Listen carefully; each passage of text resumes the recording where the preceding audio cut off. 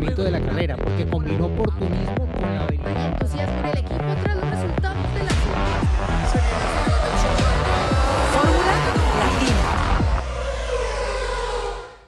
Bienvenidos formuleros a este nuevo episodio de Fórmula Latina. Eh, hoy vamos a hablar exclusivamente de Franco Colapinto. ¡Vamos! ¡Vamos, muchachos! Eh, para los argentinos ha sido un fin de semana muy diferente, muy especial, eh, con el debut de Franco y bueno, acá hay muchísima repercusión en esta zona del mundo, algo que seguramente en los distintos países de donde ustedes nos están mirando deben saber de qué se trata. Bueno, eh, en México claramente, ¿no? Porque lo tienen allí a Checo y han tenido otros pilotos también.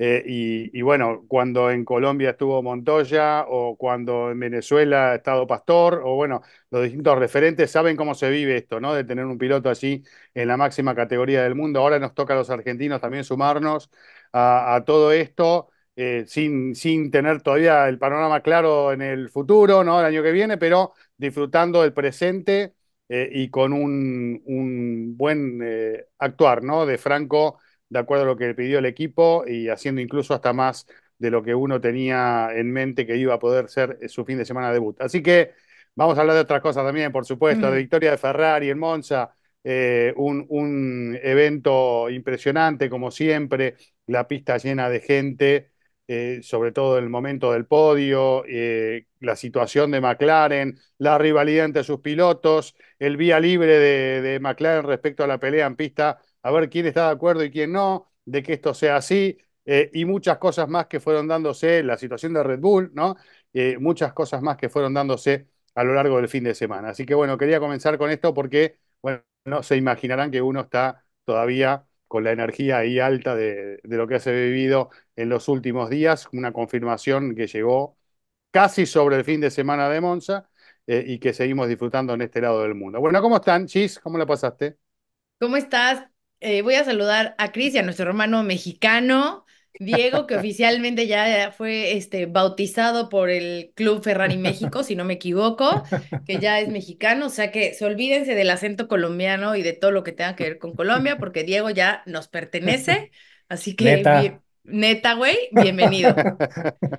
Eh, pero, eh, a ver, eh, Monza tiene esa característica especial que es su afición, ¿no? Es lo que eh, cada gran premio tiene de, como que diversas características y nos gusta por diversas cosas, ¿no? Pero creo que Monza, además de obviamente lo que significa la velocidad, el- el- el- la pista como tal, ¿no? La catedral de- del templo de la velocidad. Bueno, los aficionados siempre son eso, algo especial que tienen, ¿no? Los tifosi, la pasión, el pintar de rojo eh, la pista en ese, en ese podio y más verlo con un piloto Ferrari, en este caso eh, Charles Leclerc, que ha tenido la fortuna de este año ganar dos carreras, las más simbólicas que pudo haber tenido o que puede tener, ¿no? La de casa, Mónaco, además, ¿no? Porque eh, no es cualquier casa, es el Principado de Mónaco y Monza con Ferrari. Entonces, creo que... eh, cualquier sueño cumplido lo está haciendo Leclerc. Obviamente falta el campeonato, pero bueno, ya ganó eh, dos veces en Monza y ahora eh, con esa victoria que tuvo en mayo en, en Mónaco, me parece que ha hecho algo espectacular para, para, para él, para su carrera, para todo lo que significa Ferrari. Y sobre todo con eso, ¿no? Con, con esa vibra de, de los tifosi, de estar ahí alentándolo, me parece que es la foto perfecta para cualquier piloto, para cualquier equipo y, y en cualquier fin de semana. Obviamente, pues sí, ya mencionaste todos los temas, los vamos a ir eh, mencionando, pero sí eh, menciono honorífica a Franco y lo que hizo, tuvo, me parece que un gran debut eh, bastante sólido. Eh, por ahí escuchaba que Fernando Alonso dijo, ¿no? Que de haber sabido que era el que venía detrás de él, lo hubiera eh, dejado pasar. Claro, obvio está, porque no había puntos este, de por medio. Pero, Igual no creo, ¿eh? Sí, No creo que lo hubiese dejado quién pasar. sabe, quién sabe, quién sabe. Pero bueno, al final eh, es un sueño cumplido para, para todos los latinos, para los argentinos, para los aficionados que también se hicieron presentes, porque también había bastantes banderas argentinas, eh, incluso playeras de fútbol, pero al final es eso, ¿no? El contagiarnos de la alegría de ver a un piloto eh, de tu nacionalidad compitiendo en la, en la máxima categoría. Así que bueno, pues felicidades a, a Franco y que lo disfruten lo que, lo que sea, ¿no? O sea, m- este medio año o si se le viene una oportunidad más adelante, que lo disfruten mucho todos los, los argentinos. Y el tema de McLaren, tengo muchas ganas de entrar en ese tema porque está, está bueno, ¿eh? Ahora Tremendo. nos metemos, ahora, ahora nos metemos en ese, en ese tema y, en y en otros tantos más. Bueno, Diego, tuviste la, la vivencia de estar ahí y además de haber sido bautizado como mexicano, eh, contanos, contanos tu experiencia, ¿cómo, cómo la viviste? Che, pará, eh, tengo que traer el mate porque hay que hablar de Colapinto, boludo. Eh, O sea, ¿no eras mexicano? eh, pará, pará, sí. O sea, no, no, Eh, no, escúchame, no. O sea, ahora- Diego, Diego va así, como Ojo, veleta, tenés o que sea, hacer, tenés que hacer las cosas bien para que te podamos bautizar como argentino también. Así que 25 No, no, no. nacionalidades.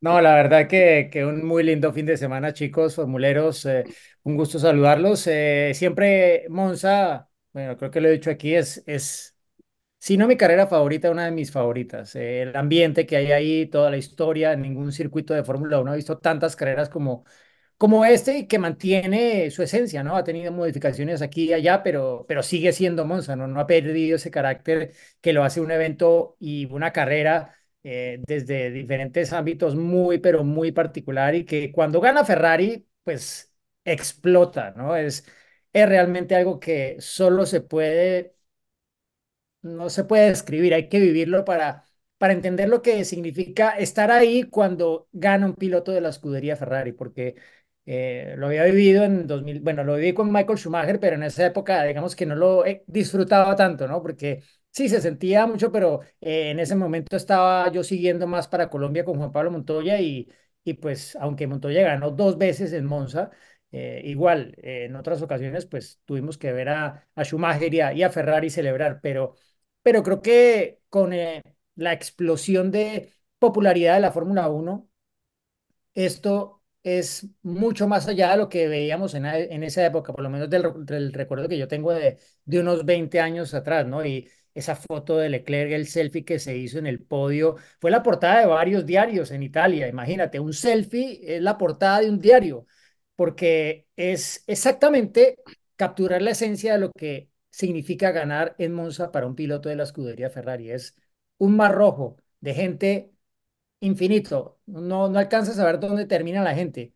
Eh, y lo que transmitía allí la gente hasta último instante, quería estar cerca de la celebración, fue dos veces hasta la hasta el muro de pits Leclerc después de la carrera para saludar a la gente, hizo como dos o tres celebraciones diferentes en el pit lane, en la última se le rompió la caja donde se estaban tomando la foto, Ah, sí. eh, estuvo hasta Leo el perro de, de Leclerc allí como protagonista, todo el mundo tenía que ver con ello. Bueno, en realidad creo que ha sido una jornada para recordar eh, y siempre que gana Ferrari de alguna manera gana la Fórmula 1, ¿no? Y si es en Monza o en Imola, pues mucho más, pero Monza es el Gran Premio de Italia, Imola pues tiene mucho y lo fue en el 81, si no me equivoco, iniciando la década del 80, pero una única vez. eh, así que es realmente Monza el- la casa como tal de, de la escudería Ferrari y qué bien que lo hayan hecho de la forma en la que lo hicieron porque es una carrera en la que todos nos recordamos eh, los memes que, que se han hecho en los últimos años de Ferrari, ¿no? De los eh, miembros del pit wall con la estrategia de la degradación de los neumáticos. Bueno, todo eso fue perfecto en esta carrera, ¿sí? Manejaron todo de una forma en la que dejaron atrás esos dos talones de Aquiles que han sido como algo que ha estado allí todo el tiempo quitándoles posibilidades de, de conseguir mejores resultados e incluso de meterse más en la lucha por títulos, ¿no? Pero qué bien por, por Ferrari, por el campeonato, porque al final estamos hablando de un equipo Ferrari que está siendo de alguna forma protagonista.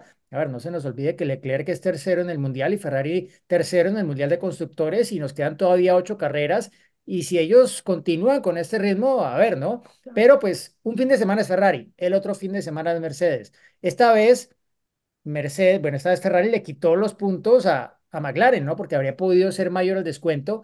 Si estuvieran uno de los pilotos de, de McLaren, habría tocado el botón el equipo de Papaya para decirle a sus pilotos por favor, invertimos porque aquí hay una capacidad de descontar bastantes más puntos a Verstappen. No lo sabemos, pero es que ya no estaba la victoria en juego porque ya era de Leclerc. Y, y bueno, en realidad creo que estamos en un final de campeonato que cada fin de semana va a ser de no perdérselo porque nadie sabe quién va a tener el mejor coche cada fin de semana, ni los propios equipos. eh, se lo preguntaban a Hamilton en el corralito el fin de semana y decía, es que es así, nosotros no sabemos. Eh, ustedes nos preguntan, pero es como si nosotros supiéramos, pero nosotros llegamos y tampoco sabemos. Y a veces las cosas cambian de un día a otro en el mismo fin de semana y tampoco sabemos. Eh, así de impredecible está siendo la Fórmula Uno, no solamente para quienes estamos viéndola de alguna forma desde afuera, sino incluso para los propios protagonistas. Bueno, bienvenido sea, ¿no? Que suceda eso. Eh, la verdad que eh, ojalá que siga pasando en los próximos años también, cuando se genera esa incertidumbre de quién puede ganar, le pone un, agregado, ¿no? Un extra a la Fórmula Uno que no lo tuvo muchos años a través de su época, siempre con algún equipo dominante, ¿no? Eh, más allá de que en algunos mo- momentos sí había libertad también para que ambos pilotos del equipo dominante puedan pelear por ese campeonato y entonces se hacía un poquito más entretenido. Eh, ahora, al tener tantas posibilidades, bueno, obviamente que es algo que todos disfrutamos y experimentamos cada fin de semana. Ahora, era difícil, digamos, por cómo se estaban dando las cosas, que McLaren pierda el Gran Premio, ¿no? Eh, eh, por eso es que cobra mayor valor, por lo que vos decías, esta victoria de Ferrari esta decisión en el momento adecuado de apostar a solo una parada, pero además de tener un auto y, a, Leclerc, en este caso en particular, que pueda manejar eh, el comportamiento del neumático de la manera correcta para poder llegar a cumplir con su objetivo, porque eso también hay que dárselo como mérito no solo al equipo y a la puesta a punto del auto, sino al piloto, porque es el que lo llevó hasta la bandera cuadro y especular con ese margen que no fue muy amplio, eh, pero que terminó eh, resultándoles a favor. Eh, había mucho tiempo de pérdida con, con una parada extra en la zona de boxes y esto quedó referenciado con este resultado final. Así que Ferrari adelante en Monza, Leclerc, pero además todo este contexto de que no eran los candidatos principales a quedarse con esta victoria, sino que era McLaren por todo lo que viene demostrando y volvió a demostrar en los tandas de entrenamientos, en la clasificación y también en parte de la carrera, cuando eh, en ese primer stint uno veía que estaba pasando lo mismo que venimos observando en otros grandes premios, eh, un, un arranque bastante parejo en las primeras vueltas con sus rivales principales y después eh, de una determinada cantidad de vueltas la balanza empieza a inclinarse a favor de McLaren que no se cae mientras los restos sí se, los restantes sí se caían, ¿no? Una tendencia que estamos viendo ya desde hace tiempo eh, y que uno ya vislumbraba al comienzo que esto iba a inclinarse directamente hacia los autos de color naranja. Pero bueno, apareció este tema estratégico, apareció esta decisión de Ferrari y la victoria de Leclerc que le puso algo adicional a lo que todos queríamos que iba a pasar en el fin de semana. Así que bienvenido sea para Ferrari, que también es un, un empujón anímico para seguir evolucionando. Queremos, creo que todos, ¿no? Que Ferrari está también ahí metida en la discusión y no esporádicamente, sino que esto suceda siempre, que esté Ferrari, que esté McLaren, que esté Red Bull, que esté Mercedes y que los que puedan acercarse desde atrás, desde ya también se puedan eh, sumar a esta disputa. Sería lo ideal para una Fórmula 1 ideal, que, pocas veces hemos visto, pero que de a poquito parece que se están dando cosas que nos hacen eh, disfrutar cada vez más. Así que eh, creo que hay, hay, hago hincapié en eso, ¿no? En, en esa diferencia que marcó Ferrari sin ser el candidato principal para la victoria. Claro, es que fueron polos opuestos de lo que venían eh, viviendo carreras atrás, ¿no? En la cuestión de la degradación sobre todo, ¿no? Que era el tema, uno de los temas principales y que incluso eh, creo que lo hablamos aquí el episodio pasado, pero Carlos Sainz hacía mucha referencia a eso, ¿no? O sea, cuando no puedes eh, manejar una carrera por la degradación de los neumáticos, entonces es cuando empiezan a fallar las estrategias y comienzas a tener todo este tipo de, a buscar herramientas para cómo solucionar eh, no solo el degradado, sino sobrevivir, ¿no? En, en una carrera. En cambio, lo que vivieron este fin de semana, mientras la mayoría estaba sufriendo con el delantero izquierdo, que era el, el, el neumático que más degradó, ellos de alguna forma lo pudieron controlar haciendo solamente una parada, ¿no? A diferencia de todos que, que tuvieron que irse a dos paradas porque el, el, el desgaste era, era mayor.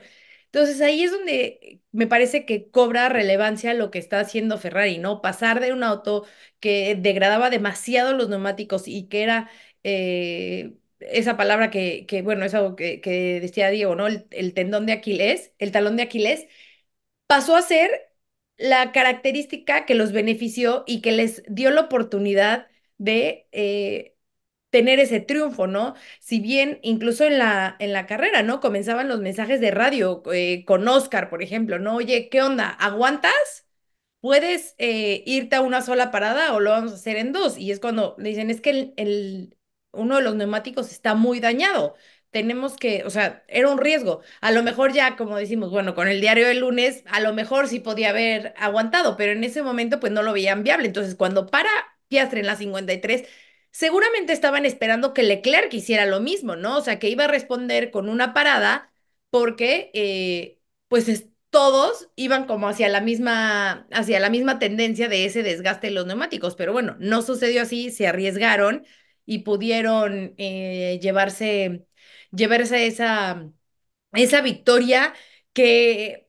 Con referencia a lo que vimos la semana pasada en Países Bajos, donde ellos mismos estaban sorprendidos ¿no? Decían, a ver, sí hemos mejorado, pero no era como para estar en, en el podio, ¿no? No era para este, este resultado. Bueno, pues parece que han encontrado la solución y que pueden estar ahí peleando en las, en las carreras que viene.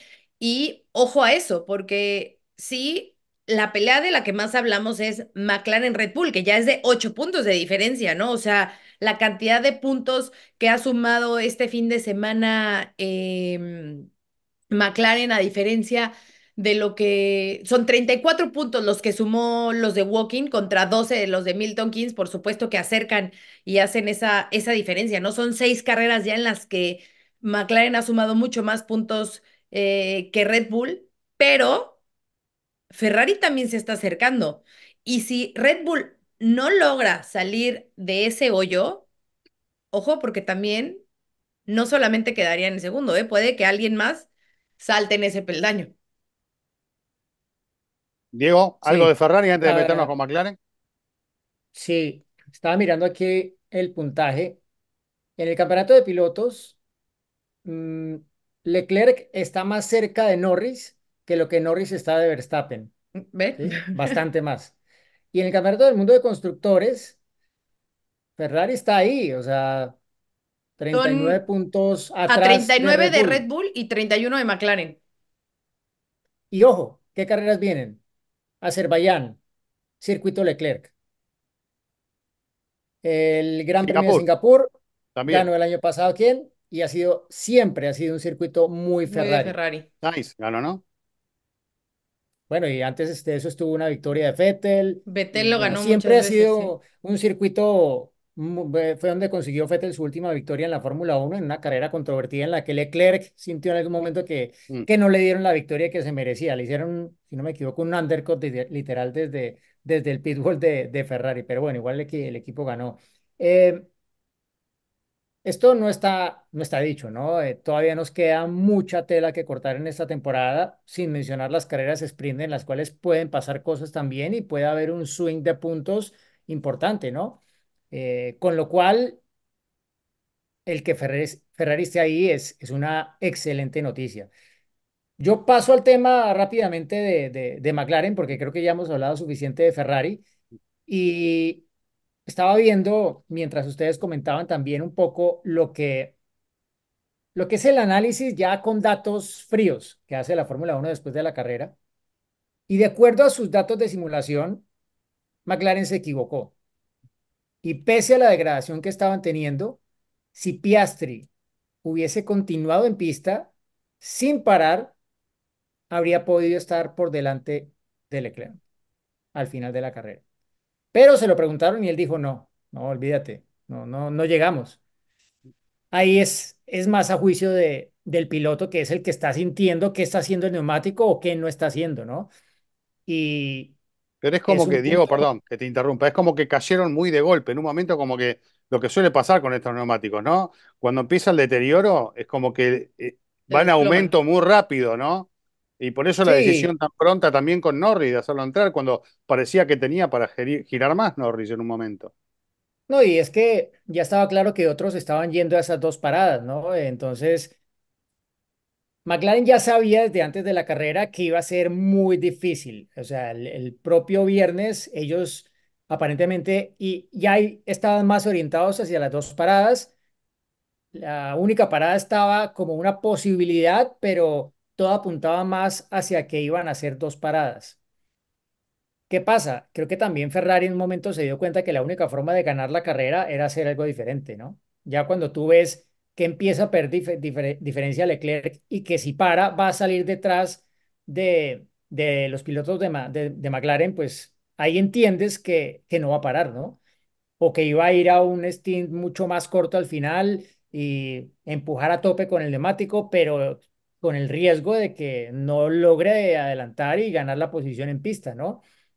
Y yo creo que lo jugó muy bien Ferrari en ese, en ese sentido y se equivocó de alguna forma o no optimizó más bien, no, no diría que se equivocó, sino que no optimizó su estrategia teniendo pues los factores en cuenta y la información que tenía en cada vuelta que iba avanzando la carrera, porque con el nuevo asfalto de Monza, esto cambió por completo la historia y los datos, la, base de datos que tienen los equipos, que todo entra dentro de las simulaciones de la estrategia, ¿no? Y cuando a ti te borran de un tajo todo esto porque ya el asfalto no es el mismo y el, el asfalto del viernes no era el mismo del domingo, entonces esto obliga a que los equipos tengan que de alguna forma basarse más en lo que está pasando durante la carrera que nunca y que el histórico pues tenga mucho menos valor porque es un escenario que tenía muchos interrogantes, muchos desconocidos y que de alguna forma lo que hacían otros con los neumáticos cuando cambiaban estaba dándoles indicaciones, pero en últimas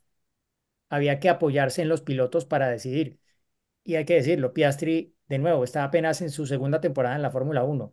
Y aparte, aquí es donde yo creo que, de alguna manera, McLaren debió haber gestionado bastante más la lucha entre sus dos pilotos, porque ese toma y dame de vueltas rápidas entre sus dos pilotos también, porque era lucha abierta, entonces, claro, pues empuja, tú empuja y si llegas, si puedes adelantarlo, adelántalo, como él te adelantó en la primera vuelta. Eso no ayudó, claro, porque son vueltas en las que tal vez habían podido gestionar un poco más el neumático y no lo hicieron porque estaba abierta la lucha entre ellos. Las Se papaya equivocó. rules. O Sí, sea, a ver, ¿creen que está bien o Pero- no está bien que, que les pongan no, para, para, para, para. Ahorita te digo, pero a ver, literal, McLaren está dando papaya. Es una forma que tenemos en Colombia de decir, estás dando ventaja, ¿sí? Están dando papaya porque, ¿por qué? Porque si hubiesen tenido las cosas más gestionadas desde tiempo atrás, estaríamos tal vez hablando de otra cosa en el campeonato. No una gran diferencia, pero el campeonato no se gana en una carrera, se gana construyendo a lo largo del año y los puntos que perdiste aquí y allá luego son los que en la última te faltaron, no los que no conseguiste en la última carrera. Entonces, a ver, primera vuelta. Hay mucha discusión y yo se lo pregunté a, a ambos pilotos de McLaren si había ido más allá de lo que permiten esas papaya rules el adelantamiento de Piastri a Norris. Visto de buenas a primeras, pensé que sí, era la sensación que yo tenía, que era demasiado agresivo. También se lo pregunté a Zach Brown y me dijo, tenemos que hablarlo, como que él también tenía sus dudas. Viendo las cámaras a bordo, te digo, no. O sea, Norris frenó muy temprano en la, en la segunda chicana, pero muy temprano. Y claro, Piastri iba lanzado por fuera, el frenó donde pues él pensó que podía frenar sin hacer nada excesivamente arriesgado. Y hubo espacio para para los dos. Que casi lo pierde Norris, bueno, pues problema de Norris, no de Piastri. Entonces, cuando tú tienes un piloto que sigue teniendo estos fallos en la primera vuelta, ¿te la juegas con él para el Mundial? Sí, hay una diferencia grande entre los dos pilotos de McLaren en el Mundial de Pilotos, ¿no? Pero creo que aquí hay muchas cosas en juego. Recordemos quién maneja la carrera de Oscar Piastri, Mark Webber, ¿no?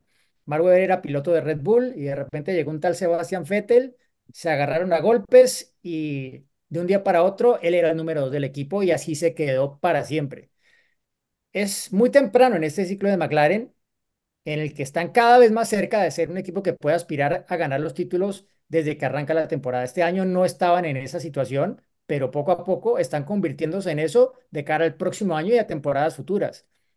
Y claro, Piastri no quiere de repente desde ya ser el número dos del equipo, obvio, y tiene una mentalidad ganadora que no te, no sé, en, en ciertos aspectos, Y me si, parece si tú bien. ¿eh? sumas a los dos pilotos, bien, pero hay ciertas deficiencias en Norris en este momento de su carrera, aspectos en los que se ve más fuerte a mi modo de ver Piastri y viceversa. Hay otros en los que Piastri no es tan fuerte y Norris, pienso yo, sobre todo por su experiencia, está mejor y también la velocidad de Norris es innegable. Ha hecho la pole en tres de las últimas cuatro carreras y eso no se lo puede quitar nadie. Y es una muestra de su talento, de su velocidad, de lo que es capaz de conseguir en una vuelta y colocar todo junto, que tampoco es nada fácil en la Fórmula 1 cuando estás corriendo al frente. Mm. Entonces, ¿qué haces? No? Yo creo que para que el equipo te dé ese apoyo y te diga, tú eres el número uno, tienes que ganártelo. Es lo que nos ha hecho Andrea Stella todo el tiempo y pienso que Norris todavía no ha hecho suficiente para ganárselo. Tiene la, la, la experiencia de más años en la Fórmula 1, de más años con McLaren, porque él está con McLaren desde antes de llegar a la Fórmula 1 y su carrera fue llevada por Zach Brown, pero, pero igual, creo que lo, lo hacen bien porque a mi modo de ver es parte del crecimiento que necesita Norris de encontrar esas cosas que todavía no ha encontrado, Mm. sea un aspecto mental o no lo sé, o una combinación de mental y técnico, no sé, pero el caso es que todavía no lo tiene y nuevamente perdió el liderato de la carrera en la primera vuelta contra su compañero de equipo y repito, como yo lo vi, por frenar demasiado temprano, por no ser tal vez suficientemente agresivo, no sé si no sentía el auto Mm. como para frenar más allá, pero no, no creo que, que Piastri haya sido excesivamente agresivo en esa maniobra. Las Sí, siete veces eh, que, el- que Lando ha estado ahí adelante, las siete ha perdido, ¿eh? En la primera curva. O sea, no ha habido Sí, una, no ha Primera completado vuelta. una primera vuelta. No ha completado una primera vuelta de, es un antecedente grave, ¿no? Eh, para esta altura de los acontecimientos. Ahora, yo entiendo, mirándolo desde afuera, que puede ser eh, un año en el que McLaren esté utilizando lo que pasa en la pista y esto de liberar a sus pilotos para justamente definir, a ver, bueno, quién va a ocupar cada lugar en el futuro, ¿no? Eh, por un lado va eso, por otro lado va, eh, ¿cuál es el principal interés de un equipo? ¿Ganar qué campeonato? El de constructores, ahí está el dinero, ¿no? Y ese objetivo de a poquito lo van logrando, están muy cerca. Yo te diría que ya hay una tendencia bastante clara de cómo están Yo te las digo que lo cosas van a hoy. ganar. Claro. Yo creo Eh, que lo sí, van a por ganar. eso, por eso, están, están más para ganarlo que para Ahora es ver quién que Entonces, va a quedar en segundo. Ahora el tema es ese. ¿Quién bueno, va a quedar en por segundo? eso, está McLaren para ir a buscar el campeonato de constructores, para ir a quedarse con el premio mayor, digamos, económico en este aspecto, y está en la situación, la de, bueno, eh, vía libre de acá a fin de año, veremos quién, quién de los dos se destaca, ¿no? Hoy la diferencia en el campeonato de pilotos claramente la tiene Norris, ¿no? Eh, más allá de que si tomamos la referencia de las últimas, de los últimos grandes premios y de unos cuantos para atrás, eh, el que está mejor posicionado es Piastri respecto de, de Lando en cuanto a la cantidad de puntos sumados. Lo, lo igualó y, y hasta lo supera en un margen, ¿no? Eh, si esta es la tendencia hasta fin de año, veremos cómo sigue todo, pero creo que están evaluando un poco todas estas cosas y aprovechando el año para, para ver qué es lo que pasa, ¿no? Sin, sin estar obsesionados por quitarle el campeonato de pilotos a Verstappen, que es algo que puede ser, pero el margen es muy amplio. Están más pendientes, me parece, de lo que pueda llegar a pasar entre sus pilotos. Mientras tanto, sí, el objetivo, ganemos el de constructores. Ahí no se vayan a chocar, no se autoeliminen que puede pasar en cualquier momento, eh, porque el objetivo es quedarse con el campeonato de constructores. Pero es que, a ver, hace dos carreras, o sea, todavía en la pausa de verano decíamos, el de piloto sí está ahí a la vista, pero no lo veíamos tanto porque de alguna forma la ventaja de Max era más amplia, ¿no? Pero, y les pregunto, qué es lo que decía yo, que, la pregunta que les quería hacer hace rato, si Red Bull Vamos a, obviamente todo esto es imaginario, ¿no? Porque a lo mejor mañana Red Bull encuentra su problema, lo soluciona y ya está en la pelea de nuevo, ¿no? O sea, no sabemos qué pasa. Si Red Bull continúa con sus problemas, si la suma de puntos continúa siendo de tres, de cuatro puntitos, ¿no? O sea, cinco puntitos, ¿no? Por carrera. O sea, pensando en Max, ¿no? Ya el de constructores ya tenemos aparte, pensando en Max. Y Lando sigue sumando de 18, de 25, de 15. Y Piastri, lo mismo. O sea, yo quiero entender que McLaren va a abrir los ojos y va a decir, oye, no solo es el de constructores, el de los pilotos también lo tenemos a la mano. ¿Qué haces?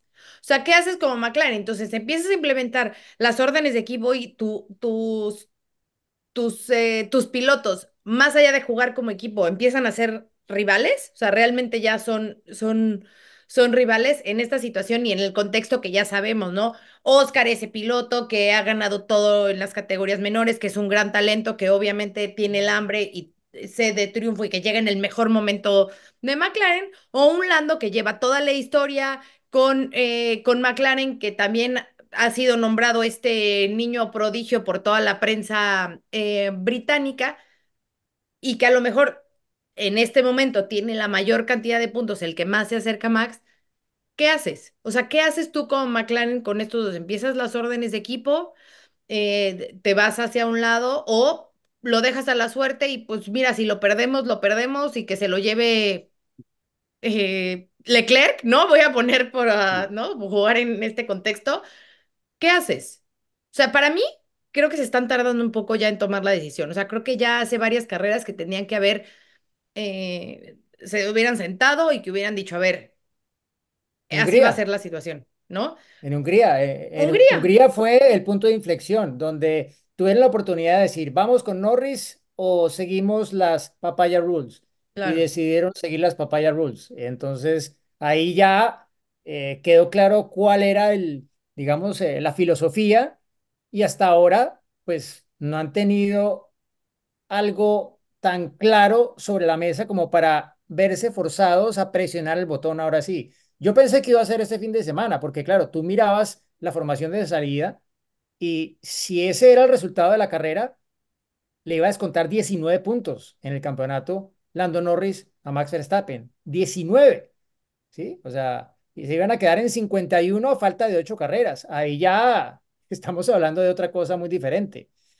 Se ha quedado en 8 puntos por segunda carrera consecutiva. Y lo hablábamos la semana pasada, Gis. De a 8 en 8, en las últimas 9 carreras les cuenta, les cuenta 72 y hay 70 de diferencia, sin contar carreras sprint y vueltas eh, rápidas, ¿no?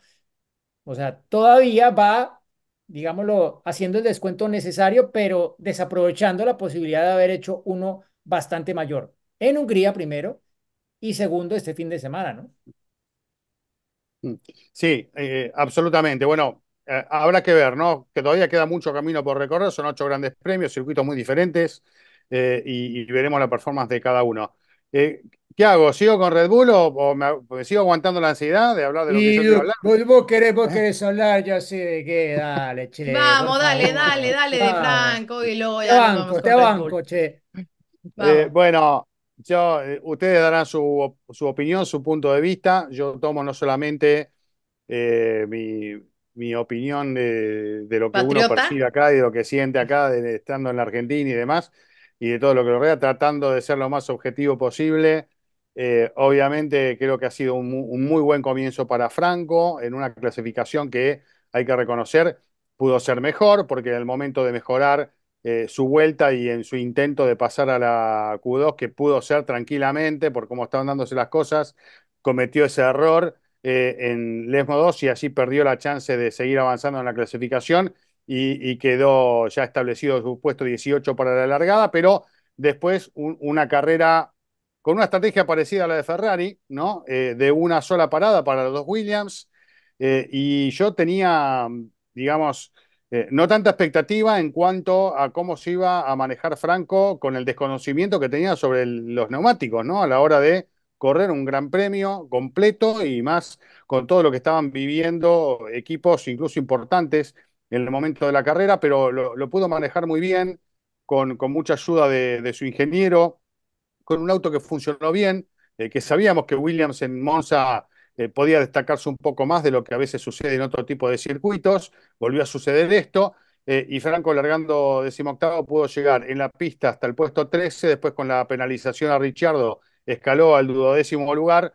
y, y es un premio enorme, me parece a mí, por, cómo él manejó la carrera, por no cometer ningún error, por la poca experiencia que tiene y, y, por todos los elogios que también fue recibiendo, no solo del público, que es obvio, es evidente, de sus fans y de los eh, fans y seguidores desde la Argentina, sino de su mismo entorno, del propio James Bowles, de los ingenieros, de gente conocedora del tema, eh, que, elogió el comportamiento de Franco y cómo manejó la carrera, además de su personalidad muy, muy agradable, el propio Diego lo puede manifestar y de ser muchas veces el último que se queda hablando en el corralito porque su, sus respuestas son extensas y, le da lugar a todos para poder hablar de, de distintas cuestiones eh, a pesar de que esto está recién empezando para él, ¿no? Pero me parece que ha sido un fin de semana que se cierra con una sensación muy agradable, con algunos dolores en la espalda que él manifestaba y que tendrá que trabajar para circuitos más complicados que vienen ahora en el camino. Te lo decía Fernando Alonso, Diego, lo escuché en la nota, eh, que, tendrá que trabajar mucho para, Singapur no sufrir el tema físico, que es mucho más exigente. Veremos qué puede llegar a pasar en, en Bakú. Pero súper positivo lo de Franco Colapinto, es un chico que tiene mucho futuro. Ojalá que no solo sea eh, lo que queda de este año como posibilidad para él dentro de la Fórmula 1, que se abra alguna ventana, que se abra alguna puerta para que pueda continuar eh, y, y, demostrar eh, todo el talento que tiene. La verdad, yo como argentino y como seguidor de la Fórmula 1, súper conforme, pero avalado por, por lo que me llega también de otros lugares que que son más objetivos que yo en este punto mm. en particular al, al, día de hoy, ¿no? No sé cómo lo vieron ustedes. A ver, Diego, tú que estuviste ahí. No, la verdad, muy, muy bien. Yo creo que, a ver, lo primero, Franco, pues ya había tenido esta primera práctica libre en la cual tuvo su primer contacto, digamos, lo importante con la prensa de la Fórmula 1, pero era diferente, ¿no? Porque era, pues, con algunos pocos periodistas interesados en escuchar de él, después de que hizo un muy buen trabajo en Silverstone en esa primera práctica libre. Creo que dejó una muy buena impresión de todos los pilotos que han hecho primera práctica libre eh, este año. De lejos había sido hasta ese punto Franco el, el que más había impresionado y eso lo, lo percibías un poco en lo que, bueno, me preguntaban a mí en el paddock, en lo que luego leía, eh, que habían escrito periodistas de diferentes países sobre lo que él había hecho, eh, las reacciones que habíamos tomado de, gente del equipo, como James Dawes. Pero claro, este fin de semana ya era otra cosa muy diferente. Eh, el corralito en, en los jueves ahora, que es el primer día de actividad en pista para los pilotos fuera de, de, de pilotar. Eh, ahora tiene un formato en el cual hay que colocarse en fila para hacer unas preguntas.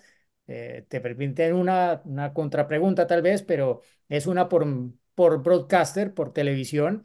Y eh, por lo general los pilotos de la segunda mitad de la parrilla no, no tienen mucha fila, incluso a veces cuando había algún cambio repentino, pues algo, pero eh, hubo periodistas que se quedaron sin poder hacerle pregunta a Franco porque la fila iba, iba más larga que el tiempo que tenía disponible, ¿no? Tienen unos 10 minutos para las televisiones y luego tienen que ir a hablar con la prensa escrita y en ambos encuentros había mucha gente ahí eh, preguntando y creo que la forma en que Franco enfrentó todo esto fue muy positiva porque empatizó mucho con, con la prensa en todo sentido, con los periodistas de todos los países, habló en italiano, bueno, habrán visto que en redes se hizo viral su eh, contacto con eh, Christine, eh, la periodista de Dazón, que nos acompaña ahí en el corralito.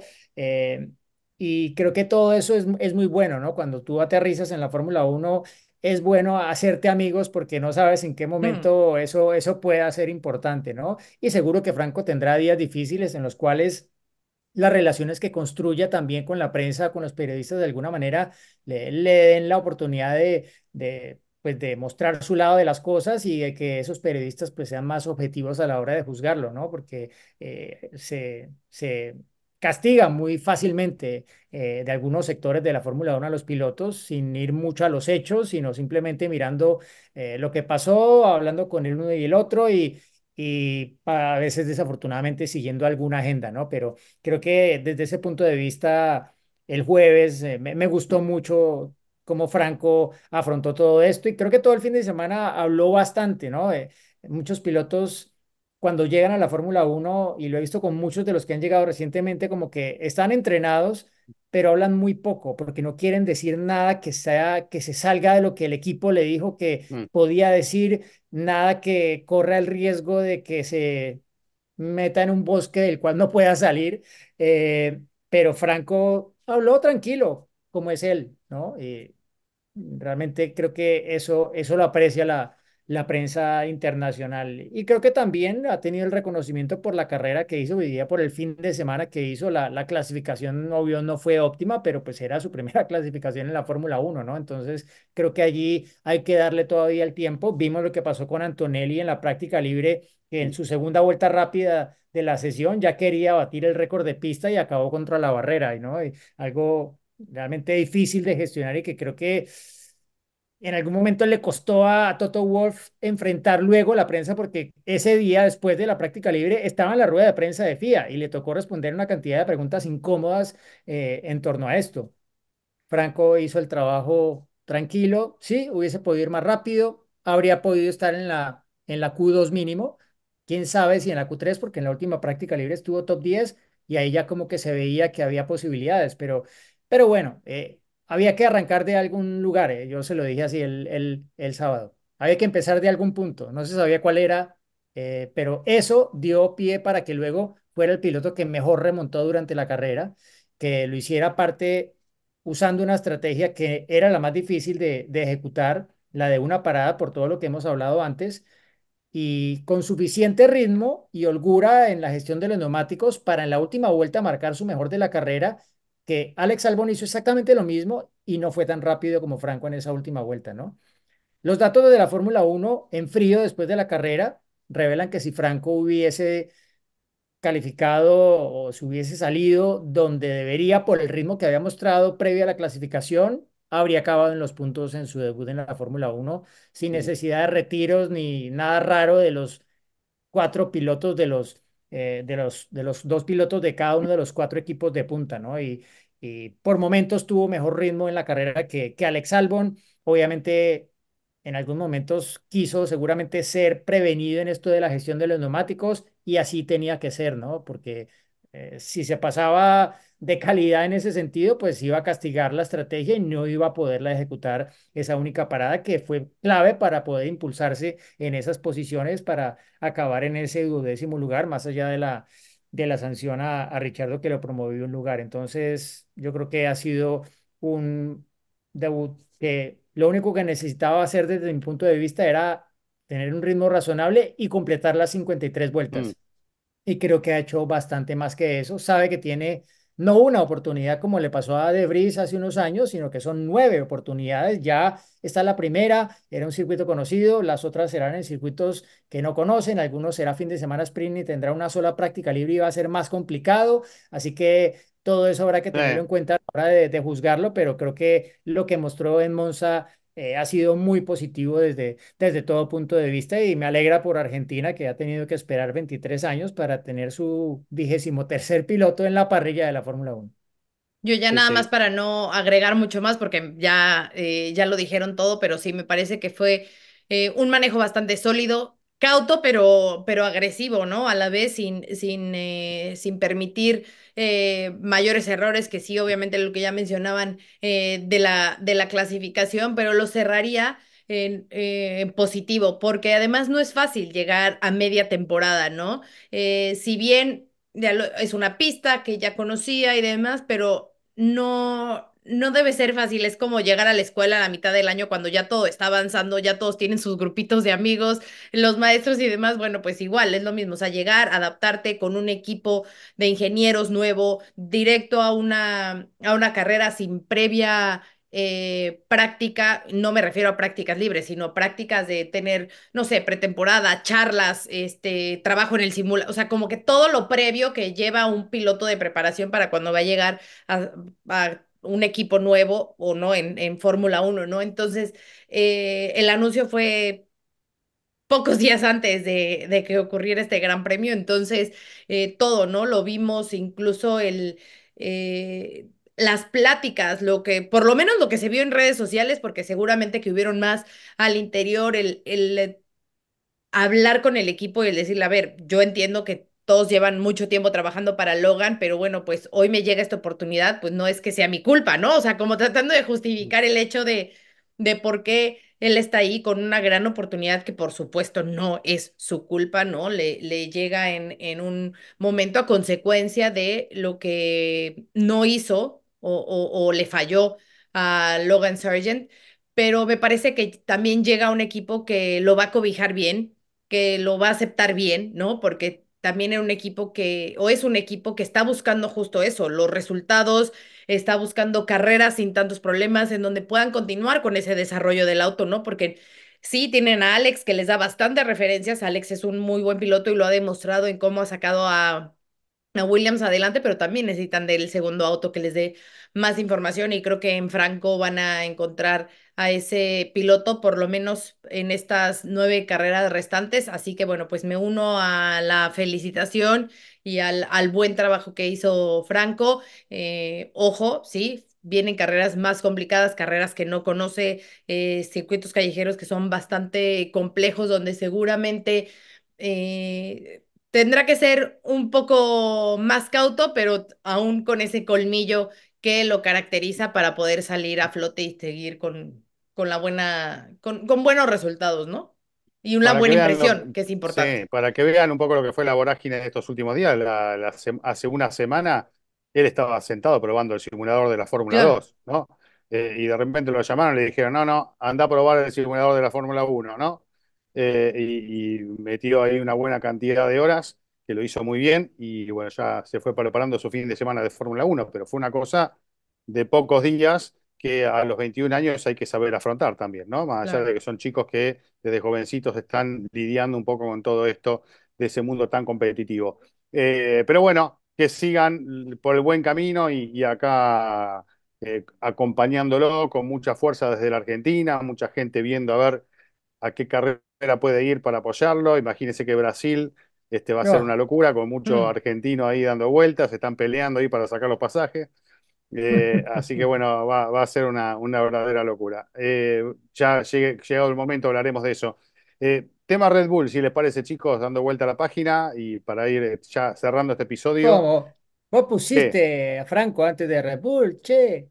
Bueno, me parece que Red Bull y este, Mercedes, así lo que No manches, no lo manches, no merece, manches, güey, te. No estás pasando. ¿eh? No, no, no, hoy lo neta, merecía güey. porque por el debut. Después veremos Bueno, cómo, cómo seguimos, ¿eh? Este, que bueno, ¿qué bueno, está pasando con aparte, ¿cuántas veces empezamos Oh, hablando de Checo y acá no lo ponen sobre la mesa? Este, una vez que arranco hablando de, un argentino que debuta en la Fórmula Uno, ya me lo recriminan, viejo. che, vos regaste todo el mate apenas empezamos la conversa. aquí, bol- No, Bueno, la ¿qué verdad, Bueno, a ver, mira, pasa? ¿qué pasa? ¿Qué ¿Qué pasa pasa? con, Eh, con está, está complicado. tienen, Está complicado. entiendo yo que saben qué es el problema del auto, Mm, ¿no? O sea, en- saben qué es lo que está fallando, Yo no pero entiendo no eso. saben cómo resolverlo, ¿no?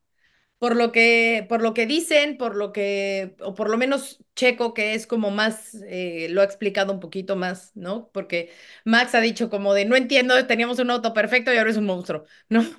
Pero, eh, en- y, y- sí, eso es eso, ¿no? Como que saben cuál es el problema, pero no encuentran la solución eh, para ello, ¿no? Dicen lo que se están tardando y lo que está provocando este... Y es que ni siquiera, es que yo te diga, es que es un bajón. Lo- los demás se han estado mejorando tanto y han encontrado mejores soluciones que, que parece que, que Red Bull va, eh, va cayendo, pero simplemente es como que está, está estancado, ¿no? Y no encuentran tampoco un buen balance que les permita eh, por lo menos pelear las posiciones, ¿no? Se han quejado mucho de ese tema, o sea que Max dice es que no logro conectar con el auto de ninguna forma, que es lo que a Max lo hacía grande, ¿no? El- la conexión que él tenía con el auto y el cómo lo podía manejar, el cómo llevaba el auto al límite, el cómo sabía perfecto cómo se comportaba en cada una de las curvas, en cada recta, en cómo se aproximaba a los bordillos, en, en todo. Y ahora es ese monstruo que no logra controlar y que no sabe de qué forma eh, moverlo, ¿no? O sea, ni, ni en la parte delantera ni en la parte trasera no logra esa conexión con, con yo- su, pero con su yo, auto. yo te diría, yo te diría que, o sea, después de haber hablado con él antes del fin de semana y después, lo que, lo que me queda a mí de sensación es que, a ver, él, él sí puede llevarlo, pero el problema es que cuando cree que está el coche, de repente no está. Y cuando parece que no está, de repente sí está. Claro. Es como que hay un interruptor ahí que no, Por eso, que no creo que sea el conecta. famoso de los frenos, de la frenada asimétrica, Mm. no, no creo que sea ese. Pero hay algo ahí que, ese, a ver, ¿cómo explicas, y esto de buena fuente, después de la clasificación Red, Red Bull no entendía cómo es posible que Max salga a la Q2 con neumáticos usados al final, haga 1.19.6 y luego coloque dos juegos de neumáticos nuevos y no pueda bajar de 1.20? Eso no tiene ninguna lógica. Cuando todos mejoraron y Max no pudo, es- y dijo en la radio, no entiendo, se fue el agarre y el coche pasó de subvirar a sobrevirar y la pista no es que haya cambiado tanto y bueno, y cambió igual para todos, ¿sí? Si, si cambió de la Q2 a la Q3 y de repente es que no, no, no encontró esa velocidad que parecía que tenía. Y el que mejor siempre se adaptaba a esos semana cambios era Max, justamente, Sí, no, ¿no? y O arrancó el sea, fin de semana eh, con la mejor, el mejor tiempo en la primera práctica libre, ¿no? Y, y ahora, o sea, Checo también lo, lo dijo después, estamos, eh, yo estaba en este barco ya desde hace varias carreras y ahora de repente Max está en el mismo barco, ¿no? De ver cómo estos cambios de balance de repente aparecen de la nada y te quitan toda la confianza para, para atacar, porque no sabes si el, si el auto está o no está, si va a Ese es el subvirar o va a sobrevirar. Es la Entonces, confianza. Cuando uno pasa, cuando pasa eso que vos claro. describís, el tema es la confianza, que perdés, ¿no? exacto. Y entonces, claro, eh, pues uno dice, sí, no saben qué pasa, pero no saben cómo solucionarlo. Es como decir, bueno, soy pobre, pero no sé cómo salir del problema. Eh, entonces, claro, eh, el Marco dice, hasta Austin podremos ver tal vez alguna mejora, ¿no? Porque es que, a ver, esto no es como que... eh, si saben cuál es el problema y están ya fabricando piezas y mejoras y van a cambiar todo el piso, no sé qué vayan a hacer exactamente, pero seguramente va a haber cambios grandes, ¿no? No, no creo que sea una solución de eh, una bala mágica que va a arreglar todo, ¿no? Eh, esto probablemente va a requerir ciertas revisiones en aspectos del coche que se han visto claramente como talón de Aquiles ya en varias ocasiones, pero que en Monza como que se quedaron mucho más expuestos, ¿no? Porque ha sido e- el peor fin de semana competitivamente hablando, diría yo, de, de lo que va de la temporada, una especie de Singapur del año pasado, pero sin consecuencias tal vez tan, tan nefastas, ¿no? Aunque en ese momento era como un evento aislado dentro de una temporada de completo dominio de Red Bull. Aquí es como que se viene cayendo, se viene cayendo la estantería y aquí se cayeron bastantes libros, ¿no?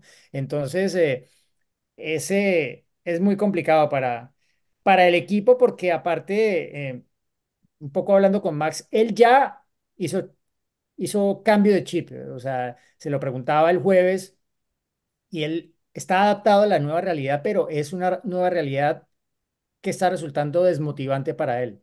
Y en la radio también de nuevo han tenido un toque de atención al equipo, eso de que la gente en el fondo que, ¿qué tal? Que, que esté atenta, que pilas, era porque aparentemente no le estaban dando la información que necesitaba de mover ciertos switches en el volante para mitigar un problema que estaba teniendo con la batería. O sea, no le estaban anticipando qué hacer, sino que él tenía que ir a preguntarles qué tenía que hacer. Y no- normalmente debería, si el equipo estuviera fino, según lo que él decía, anticiparse a que él le pidiera las cosas y darle las herramientas previamente para poder ir más al ataque. Entonces, no es solamente el coche, hay más cosas. Hay diversos aspectos que en este momento no están yendo como estábamos acostumbrados hasta hace pocos meses con Red Bull. Y sí, ojalá que lo que dice Helmut Marko, pues sea así, que a partir de la temporada americana veamos de nuevo un Red Bull en capacidad de pelear al frente, porque Max nos lo dijo en el micrófono ayer. Si esto sigue así, vamos a perder ambos mundiales. Bueno, eh, buena frase para cerrar el tema Red Bull. No sé si Gis querías agregar algo de, de Mercedes quedó pendiente después, bueno, del, golpe, digamos, del fin de semana de Kimi Antonelli, la cara de Russell, eh, la sonrisa a pesar de todo de Toto Wolf, porque, bueno, sabía lo que venía, que era la, confirmación de este jovencito de 18 años para sumarse al equipo el próximo año como compañero justamente de Russell. Eh, y bueno, ver si Mercedes puede estar también prendido allí en la pelea en lo que queda del campeonato, porque por momentos realmente sí aparecen, ¿no? Eh, y, por momentos también es como que se desinflan, pero, pero bueno, están ahí. Sí, dicen que, eh, o sea, y se ve que mejoraron en cuestión de ritmo a diferencia de lo que vieron en Sambor, pero no lo suficiente como para estar peleando como lo hicieron antes de las vacaciones. Eh, me quedé muy grabada con eh, escuchando a Luis después de la clasificación, muy duro con él, ¿no? Echándose la culpa de, de la clasificación, ¿no? O sea, decía, a ver, terminé sexto cuando podía haber estado perfectamente en primera fila, ¿no? Em, incluso por ahí en alguno dijo, ojalá que Kimi sí lo pueda hacer porque yo no estoy este, lográndolo, ¿no? De ser un gran clasificador y un gran piloto a, a, este, a, a- decir eso, ¿no? Estaba bastante eh, molesto porque tuvo un par de errores que no le permitieron hacer una vuelta perfecta y llevar al Mercedes al lugar en donde donde él creía que podía estar, ¿no? Bueno, George quedó tercero y él quedó en sexto, entonces era también yo creo que un poco de enojo de ver que su compañero sí lo, lo había logrado, pero bueno, al final, al día siguiente, el domingo, tampoco creo que, que una buena clasificación le hubiera ayudado a tener un mejor resultado, porque bueno, lo vimos, ¿no? E- Era infinitamente mejor el ritmo de carrera de McLaren y de Ferrari a comparación de lo que, de lo que tenía Mercedes. Pero sí, justo es eso, tienen como destellos a momentos de fin de semana y a la hora de la verdad, como sucedió el fin de semana pasado en, en Sandboard, se caen en carrera, ¿no? Entonces, bastante trabajo el que tienen que hacer en, en Brackley para entender qué es lo que ha sucedido y el por qué, eh, aunado al de, a la degradación de neumáticos, ¿eh? porque también están sufriendo bastante eh, con ese tema, ¿no? Incluso, eh, y volviendo un poco también a Sambor, ¿se acuerdan que hasta eh, una parada extra, ¿no? Hizo por ahí George para ver si lograban mejorar. Y, y, y- entran en este círculo de, de no entender qué es lo que está pasando con, con el auto más el neumático para poder tener una buena, una buena carrera. La gente de Mercedes dirá que no, pero eh, yo lo pongo sobre la mesa. El accidente de Antonelli es no tener información en la primera práctica libre y tener menos de la mitad de la información de uno de los coches en la segunda práctica libre, que es la más relevante del fin de semana. Claro, porque estuvo ¿Afectó eso el fin bastante tiempo fuera? George. Sí, claro, también, claro. claro, Eh, bueno, eh, decisiones que se toman, que para mí estaban planificadas también, ¿no? Incluso de, este, hasta desde el marketing, de, de hacer un buen papel en su tanda, de hacer una buena vuelta, un buen tiempo de vuelta, en este caso Antonelli, que no salió, pero si salía, un buen tiempo de vuelta, una buena ubicación y un anuncio posterior como confirmación para el año próximo, Eh, como que cerraba todo, ¿no? Pero bueno, claro. no salió. Eh, Por lo por, menos los italianos puedan estar felices, más claro. felices aún de que van a tener ya un piloto Exacto. italiano, ¿no? Porque desde Giovinazzi que no tenían Sí, a un sí, piloto por italiano supuesto, por en, en supuesto, eso suma un montón. Y aparte, como venían tanto con Kimi, Kimi, Kimi Antone- Kimi Antonelli, apareció el Kimi, apareció Kimi. el Kimi ¡Buah! original, como diciendo, ojo, que ¡Buah! Kimi soy yo, ¿no? Bueno, bueno, chicos, eh, nos vemos en, respondemos sus preguntas, ¿no? En la semana. Es ¿eh? Así que bueno, muchas gracias por la compañía a todos, espero que la hayan pasado bien, esperamos sus comentarios y bueno, nos vemos eh, el jueves. Chau. Y Forza Ferrari Club México. Carnales. Hermano. Desarrollar el adelantamiento de la carrera porque combinó oportunismo con la habilidad. entusiasmo en el